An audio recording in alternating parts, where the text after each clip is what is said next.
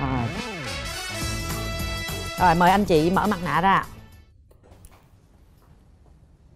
Rồi chào anh chị. Mời anh nói trước ạ. Giới thiệu thông tin cá nhân của tên anh. là Nguyễn Văn Cường. À, 59 tuổi đến từ Vô Vấp. Wow 59 tuổi thiệt hả anh? 9 Ồ, tuổi. vậy anh quá trẻ luôn á. Có ai nói anh trẻ hơn tuổi không? À, giờ em nói lần đầu tiên.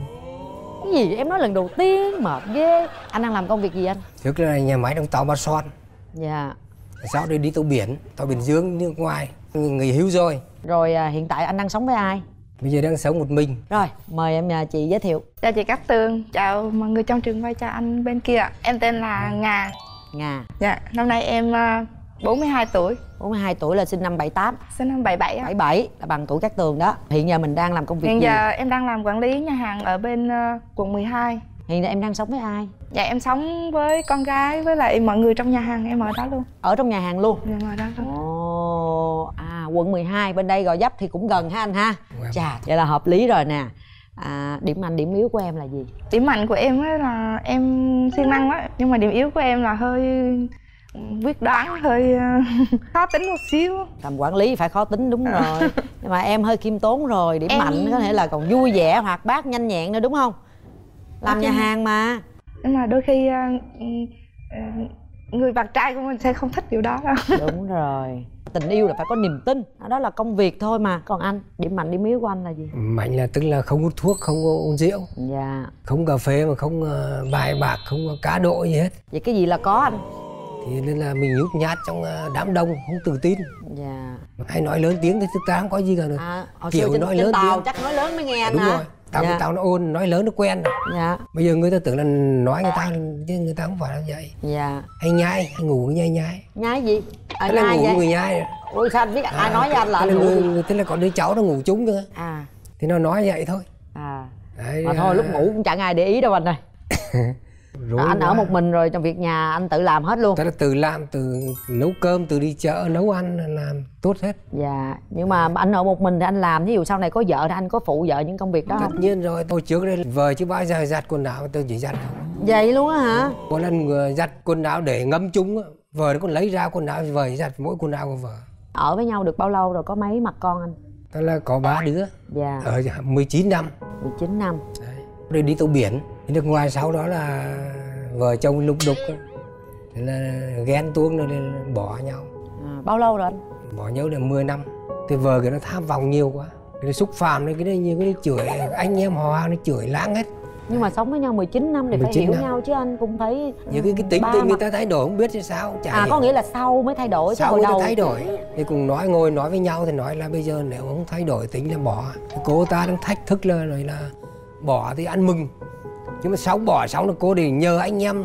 Này kia để nói, kéo lại. Nhưng mà cường không chấp nhận anh không chấp nhận. Là bỏ rồi là rồi không chấp nhận. Hồi đó đi tàu biển thì người ta đâu biết mình là ai trong khu phố đâu. Sau từ đó đi ra làm ngoài dân phố thì nó mới hiểu được. Ba đứa nhỏ là bao nhiêu tuổi? Thế là bây giờ là lớn đi học đại học ra trường rồi. Dạ. Mới đi làm rồi. Còn sau đó mình, mình lấy một một vợ khác Là có người mái mối á. Thì, thì lấy cũng ờ, đi đi làm xa đi tàu biển Sau đó cô đi người tình Tình ngay là người tình với bạn mình Bạn của chồng. Đầu tiên thì nói là nói với ông đó là Ông đó tán gái giỏi lắm đấy. Thì cô không nghe con là bạn của anh.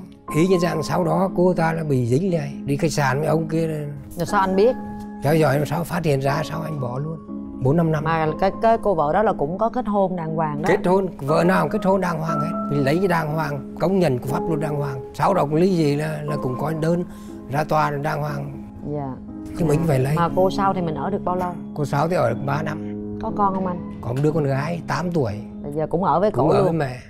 Dạ. Dạ. rồi suốt 5 năm nay thì lại không chưa? Không sau đó cũng có có quen một cô nhưng mà cô này thì cô thì khi quen thì cô này, này yêu thôi. Thì cô không lấy thì không chấp nhận. Có nghĩa là anh là quen nhau yêu nhau là phải lấy nhau. Dạ, yêu nhau là phải lấy không yêu thì Dạ. thôi. Dạ. Thì cô ta muốn yêu chứ không muốn lấy. Bây giờ cũng cắt đến khoảng 2 năm nay rồi rồi hiện giờ là trống trống trơn chưa? Vậy bây giờ là gọi là lính phòng không. Lính phòng không. Dạ yêu là cũng phải lấy luôn đúng không? yêu là lấy không yêu thì thôi. Dạ. Yêu chân chính đàng hoàng. Dạ chân thật chứ không có chân, Chân thật, giả. không dạ. có chân giả. Rồi còn mình thì sao ạ? Em ly dị à, cũng 13 năm rồi. 13 năm.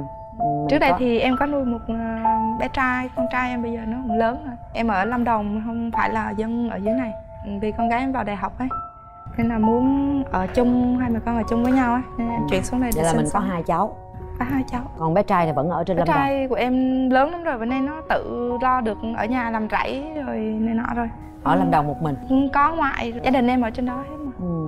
ở dưới đây hai mẹ con là ở trong cái chỗ của em làm luôn là con Chỗ em học làm cũng là anh em á. tại sao mối tình đó mình lại chia tay ừ, tại hai mặt con Có lẽ là do thời đó em còn nhỏ mình chưa được chỉnh chu á. Mà gia đình thì là người Bắc á. Có nhiều cái phong tục với lại có nhiều cái mình không thể nào nói chung là là làm dâu hả tức là làm làm dâu. nên không được Ừ. mà hai vợ chồng ở với nhau được bao lâu 6 năm đó. bây giờ có còn gặp lại anh đó anh có gia đình Ừ. mới hết rồi chứ đúng Anh không có gia đình mới nhưng mà cũng ít khi gặp lắm mà có có gặp cũng không liên quan gì. suốt mười mấy năm qua thì mình có mối tình nào khác nữa không Ừ, có cách đây cũng lâu rồi có quen một người ở Sài Gòn nhưng mà cũng vì khoảng cách địa lý hay là nói chung là nhiều vấn đề ừ, em nặng gia đình á. Còn con cái chưa có lớn á chưa có nghĩ cho bản thân em. Cho tới bây giờ thì con cái em cũng lớn em đang muốn nghĩ tới cho mình một xíu. Nhưng mà bây giờ yêu có lấy không? Yêu thì lấy. Yêu là lấy đúng không? Dạ. tại vì quan điểm anh bên này cũng rất là rõ ràng yêu là phải lấy. Chứ còn ờ, gọi là hãy cứ là tình nhân thì anh không chịu. Đó. Em thì cũng muốn có một người sống với mình nghiêm túc mà sống phải ờ, lâu dài. Ừm, quan điểm của em là muốn lấy một người chủ yếu là để già có người mà cùng ăn cơm cùng chia sẻ cùng ờ, có nghĩa là đi dạo hay là bất cứ một cái gì đó thôi. Chứ còn không phải là để nương tựa. Tại vì quan điểm của em không muốn nương tựa vào bất cứ ai cả. Đúng rồi để hữu hỷ lúc tuổi Đúng già. rồi. công việc của cô này thì hồi nãy anh cũng nghe cô nói rồi đó. Cô đang làm trong môi trường nhà hàng thì chắc chắn sẽ có tiếp xúc nhiều người đi ra đi vào. Trai có gái có. Thế thì về quan điểm về à, để vợ đi làm hoặc là về à, những quan hệ xã hội thì anh có cái suy nghĩ như thế nào? Nói chung là con gái mà làm bất cứ chỗ nào cũng vậy thôi. Quan trọng cái, cái bản chất con người đấy. Mà mình mà làm ở đâu vậy thôi mà quan trọng cái, cái tâm của mình. Dạ. Đứng đắn hay không dạ. là quan trọng nhất. Giờ giấc làm việc em sao em? Thường xuyên về trễ lắm Ừ. đến 11 giờ em mới dứt tại vì em còn quản lý cả doanh thu này nọ. Ừ. nên phải chốt được tiền xong em mới Ừ. dừng à, nhưng mà làm từ việc. sáng luôn hay là từ chiều thường là ừ, sáng 10 giờ là em có mặt rồi để chuẩn bị mọi thứ nói chung là hiện giờ thì em sống đó giống như một giống như là ở nhà của em vậy luôn thôi rồi còn Dạ. nếu trường hợp mình từ chỗ khác tới Đúng làm rồi. thì cái giờ giấc là như vậy đúng không anh có đồng ý để cổ tiếp tục cái công việc của cổ hay không Không dụ là phải làm 12 việc giờ đêm là cổ sống mới phải về làm việc mà dạ không quan trọng việc gì hết cả mà mình phải biết giữ bản thân mình. Vậy là cơ bản là em thấy cũng ờ, về thoải mái rồi đó. Rồi em muốn tìm một ờ, người ờ, bạn đời một người bạn đồng hành với mình trong tương lai là người như thế nào? Em không cần người đó phải cho em cuộc sống giàu sang sung sướng hay là gì hết. Em chỉ cần người đó là thật lòng và thật tâm thôi. Nếu mà người mình có được hai chữ đó thì cái gì mình cũng có thể tha thứ hay có thể mình vượt qua được hết.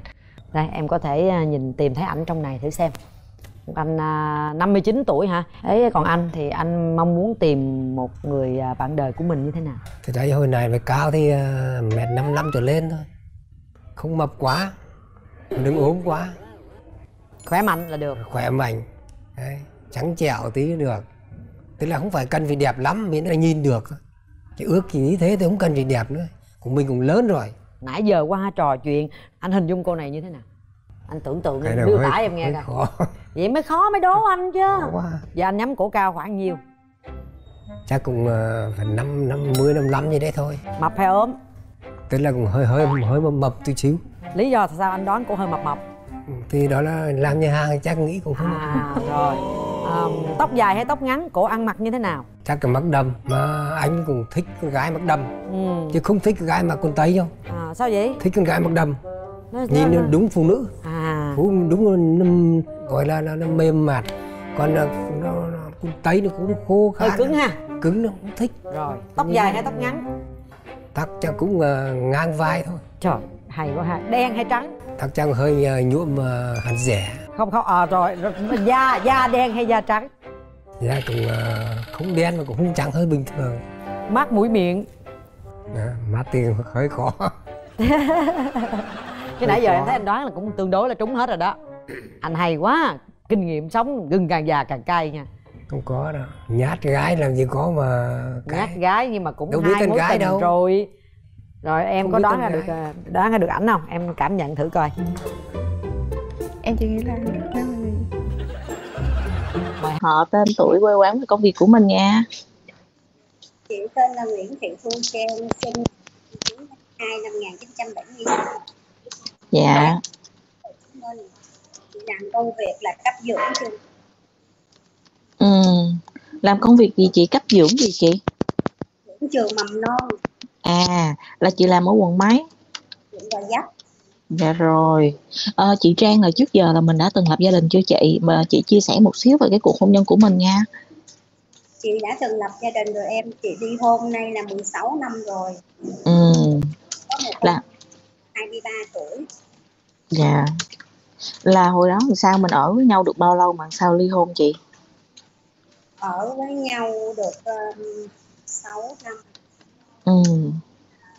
Không hợp thì uh, chị không thích người đàn ông lăng nhăng nên chị chia tay. Là chỉ tay xong là một mình chị nuôi con luôn hay sao? Chị nuôi con um, được um, bé 7 tuổi 7 tuổi xong rồi đến ba bé nuôi. Ba bé dẫn bé đi nước ngoài á em. Ừ là hiện tại là bé đi nước ngoài rồi. Bé đi nước ngoài. Ờ.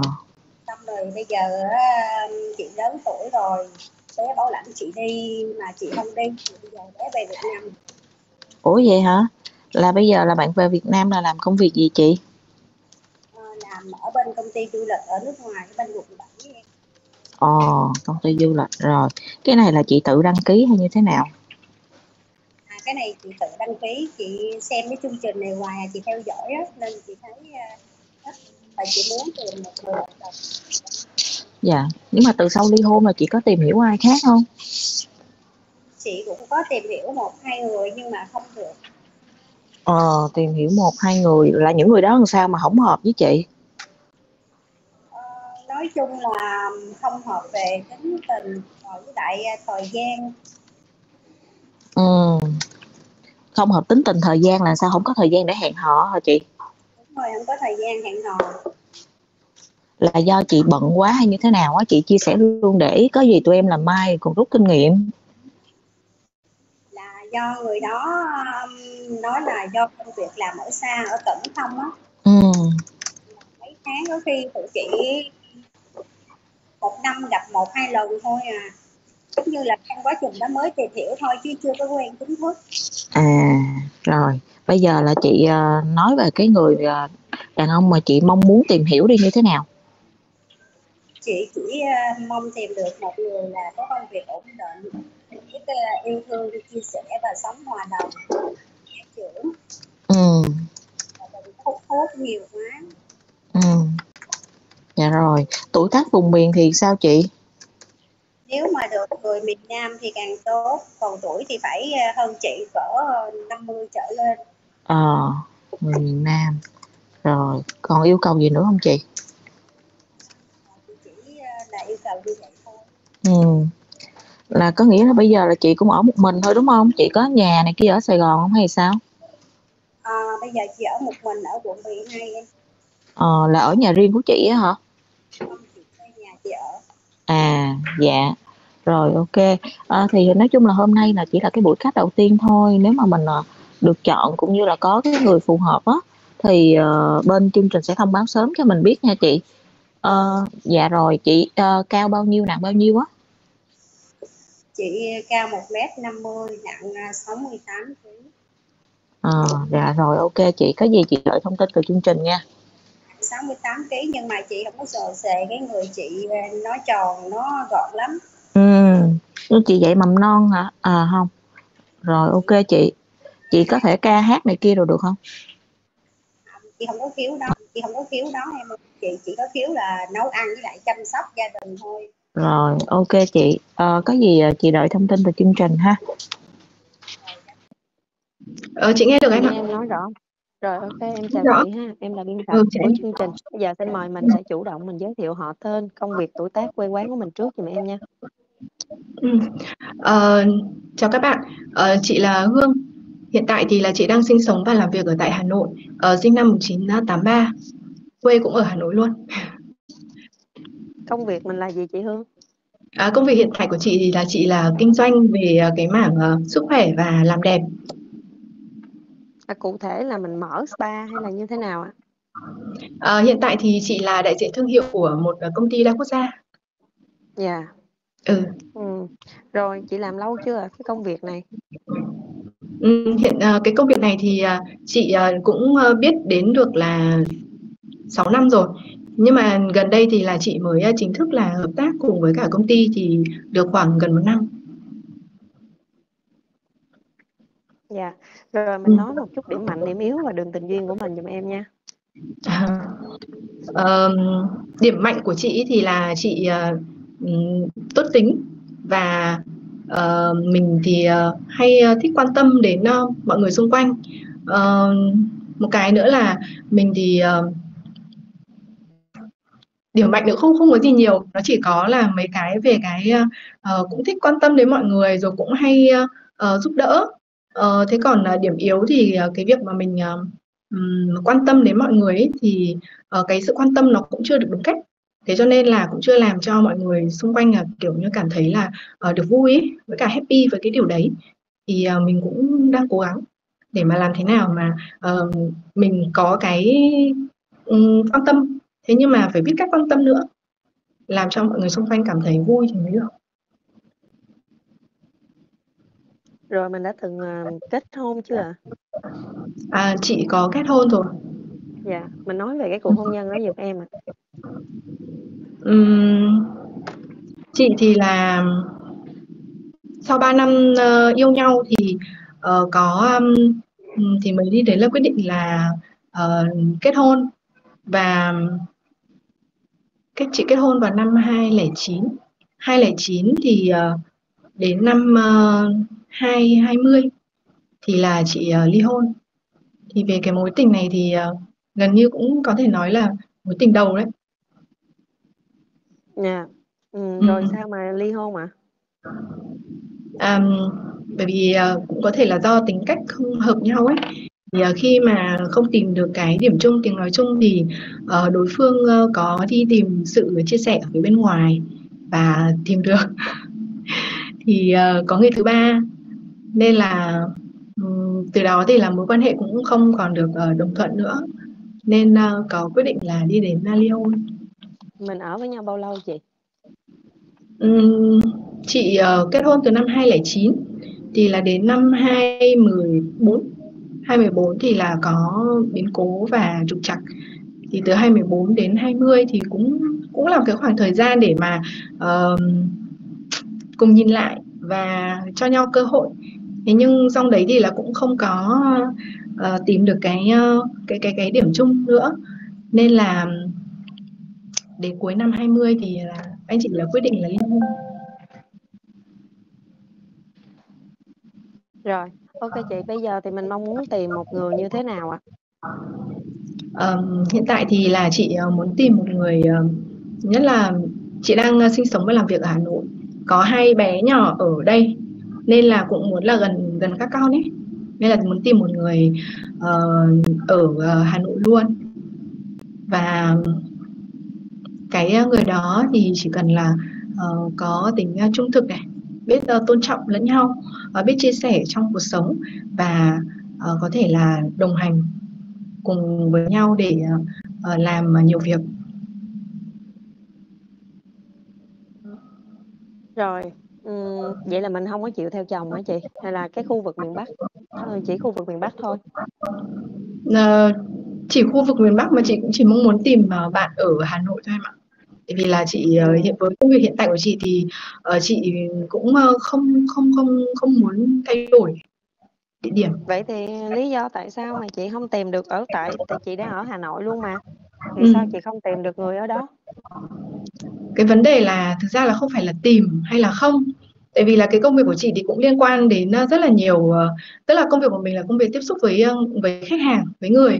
Nhưng mà tuy nhiên là um, cũng không biết là có phải là do duyên hay như thế nào uh, thì cũng mình cũng chưa cảm thấy là rung động trước ai hoặc là cũng chưa thấy ai có cái uh, cảm tình hay là kiểu dạng như là họ họ họ tấn công mình hay như thế nào cả thì uh, chị mới bảo là ờ, tôi ừm, cũng là cái duyên mà biết đến chương trình ấy tại vì là mẹ chị cũng hay xem chương trình này. Thì cũng bảo là hay là mày thử đăng ký tham gia đi. Thế là ừ. chị cũng dạ. mạnh dạn chị bảo là ừ thì nếu mà mình chưa tìm được cái duyên ở ngoài đời thực của mình thì có thể là biết đâu là có một cái duyên nào đấy ở đâu đấy mà cùng cái ờ, địa phương này thế nhưng mà mình lại chưa chạm được tới chẳng hạn. Đấy thì chị cũng cho mình một cơ hội Rồi, ok chị. Nếu tìm được người thì bên em liên lạc với mình nha, rồi có gì tụi em thông báo cái cái kết quả của mình sau ha. Rồi, ừ, ừ, cá của chị xong chị rồi cảm đó ơn em cảm ơn. Dạ. ừ rồi cảm ơn em chào em